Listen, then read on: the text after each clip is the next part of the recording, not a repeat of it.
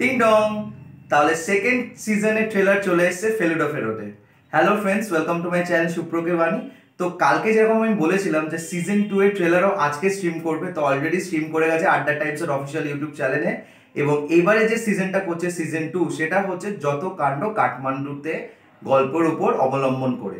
তো এই season two এর ট্রেলারটা কিন্তু সিজন ওয়ান থেকে আমার একটু হলেও বেটার লেগেছে। কেন বেটার লেগেছে?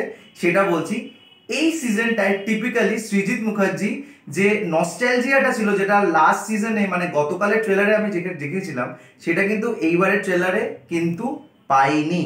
এইবারের ট্রেলারটা আমার খুব নতুনত্ব লেগেছে, কেন কি অ্যাকশন সিকোয়েন্সেস কিছু দেখানো হয়েছে স্লো মোশনে সেগুলো দিয়ে বোঝা যাচ্ছে যে টেকনোলজি ওয়াইজ একটু মানে নতুনত্ব দেখানোর চেষ্টা করেছে। ইনফ্যাক্ট ক্যামেরা অ্যাঙ্গেলস যেরকম ইউজ করা হয়েছে মানে ট্রেলারটাকে যেভাবে শ্যুট করেছে বা পুরো সিরিজটা যেভাবে শ্যুট করেছে ট্রেলারটা যেভাবে কাট করেছে, তো সেই হিসাবে কিন্তু আমার কিন্তু খুব ইমপ্রমটু বা ইম্প্রোভাইজেশন আমি দেখতে পেয়েছি সৃজিৎ মুখার্জি হিসাবে। দেখো লাস্ট ডে মানে লাস্ট ট্রেলার সিজন ওয়ানে যেটা বেরিয়েছিল, সেটা খুব সোবার খুব কাম টাইপের একটা ট্রেলার ছিল এবং সেখানে একটা সত্যজিৎ রায়ের আমি ছোঁয়া পেয়েছিলাম, সেটা আমি বলেছিলাম।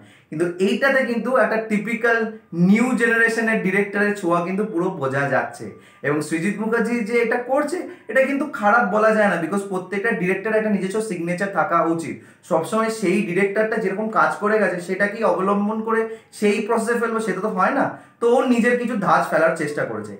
এই সিজনে আমরা টোটারয় চৌধুরী এবং অনির্বাণ চক্রবর্তীকেও দেখছি। তার সাথে সাথে কিন্তু খরাজ এবং ভরত কলও কিন্তু এখানে ঢুকছে এবং খরাজকে দুর্গেশগড়ের গুপ্তধনের পর এই সিজনেও বোধহয় একটা নেগেটিভ চরিত্রে আমরা দেখতে চলেছি। কেন কি ওর সিনপসিসটা যেরকম লাগল ট্রেলারে সেখানে বোঝা যাচ্ছে যে he is doing a grey shade role তো এই ট্রেলারটাও আমার লাস্ট ট্রেলারের মতো, এটাও আমার ভালো লেগেছে। আর এটার মধ্যে একটা নতুনত্ব ব্যাপার আমি খুঁজে পেয়েছি, যেটা কালকের ট্রেলারে আমি পাইনি।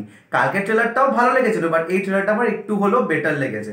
তো আমার কাছে এই ট্রেলারটা বিশাল ভালো থামস আপ তো কালকে যে ট্রেলারটা বেরিয়েছে, সেটা কিন্তু ক্রিসমাসে আসছে। আবার মনে করে দিচ্ছি, এই ট্রেলারটা কিন্তু জাস্ট ট্রেলার রিলিজ করেছে, এটা কিন্তু রিলিজ ডেট দেয়নি। তো বোঝা যাচ্ছে যে এই বছর হয়তো বেরোবে না, সামনে বছর হয়তো বেরোবে।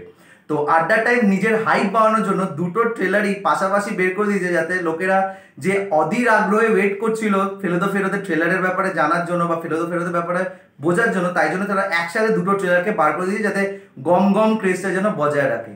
তো এটা একটা strategy well strategy I would say আর যদি তোমাদের ট্রেলারটা ভালো লেগে থাকে, তাহলে প্লিজ একটা কমেন্ট করে জানিও। আর আজকে রিভিউটা যদি ভালো লেগে থাকে, তাহলে লাইক শেয়ার এবং সাবস্ক্রাইব করতে ভুলো না। Till then stay tune